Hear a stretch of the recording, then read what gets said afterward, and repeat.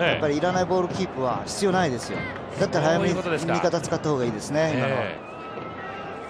さてファールを取られたということで日本のフリーキック。本田圭佑。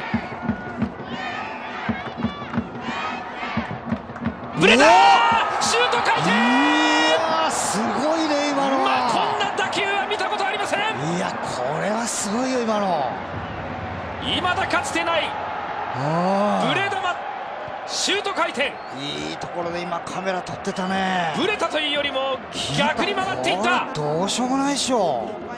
すごい。これ笑うわ。